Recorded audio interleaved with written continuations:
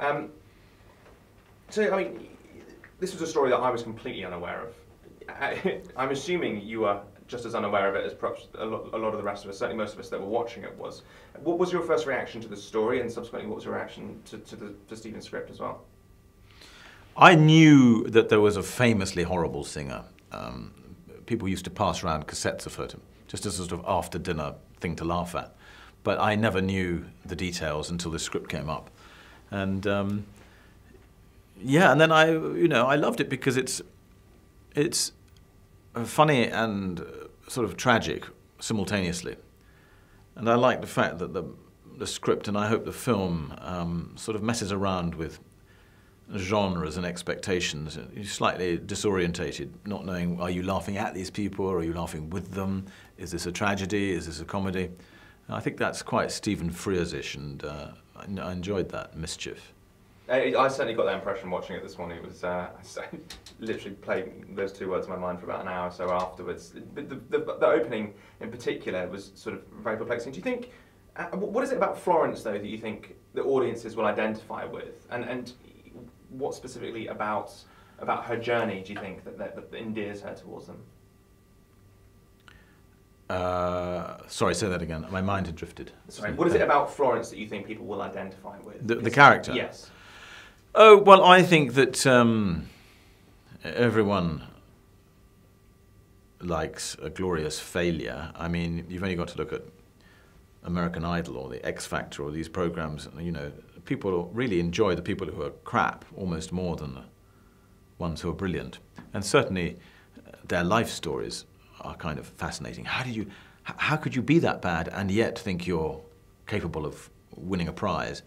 And so I think there is a um, uh, a definite natural voyeuristic uh, interest in these people. Because there were, there were, several laugh out loud moments initially, but, but by the time the end comes, obviously everybody's disappointed that, but the fact that she's dying and uh, in turn, in completely endeared towards her, even yeah. as, as, as, as, the audience is. Uh, how, how easy was it to see that from your character's point of view, to look to be to be able to look beyond the, the facade of her not being able to sing? Uh, no, that was the and the love that transcends that. I mean, yeah. Um, well, my interpretation of the relationship was that if you have spent 30 years together and um, one of you has a desperate passion to do something and is also not very well, don't want to give away too much about the film for people who haven't seen it, uh, you, of course you support them and protect them fiercely uh, in their endeavour. I don't think it would even occur to you to say, well, do you mind if I'm honest, love? You're shit. Uh, can I just ask what, what, it was like working with Meryl? She obviously brings, uh, you know, her own uh, her own magic to the role, but also, as you said, Stephen as well. This this does work particularly well. I think it's, it's a sort of uh, a very good example of how he can make these films perhaps better than anybody else. What was the question? What, what, what was it like working with, with Meryl and Stephen? Was it make, did it make it easier to, to bring this thing to life or? Uh, well, yeah, obviously, you because they're both, you know, top talents. And um, Stephen was not what I expected because, um, you know, he's such a revered, uh, award-winning director. And if you go to France, the French virtually kneel at his feet. Ah, Stephen Frears is a very great metteur en scène. And so you'd kind of expect that he's going to be very intense and give a lot of direction to actors, for instance. Not at all, quite the reverse. Uh, from my first meeting with him, when I had 20 intelligent questions about the script, his answer to almost every single one was, I've no idea, don't ask me, don't know, don't know. And that's really his method. He, he, he, I think he's a great picker of projects, got good taste. And he's very good at getting the right personnel in, in the crew and the cast, and then uh, he's very trusting. Yours is a, a, sort of delightfully nuanced character, in my opinion. Uh, how hard is it to find those these days in, in, in, in uh, an, industry that's increasingly dominated by sequels and so on? And, and, how difficult is it for you to sort of to continue to stay away from, from the romantic comedies?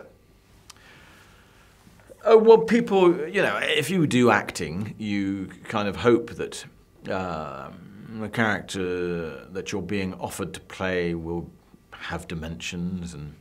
Um, but you know, cinema is an interesting thing because it began really in a fairground and was as like a, an amusement, like the Strong Man or the, the Siamese Twins. It was a something to pay a, a, couple of pence or cents and go and see.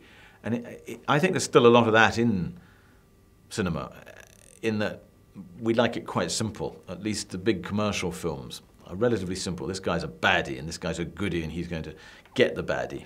And uh, if you start to get uh, as complex and nuanced as real human beings are, or even as human beings are in a novel, quite often the cinema audience goes, yeah, bah, yeah, I, I, don't get that. You know, that's that's too complex. Because in the end, they want a night out.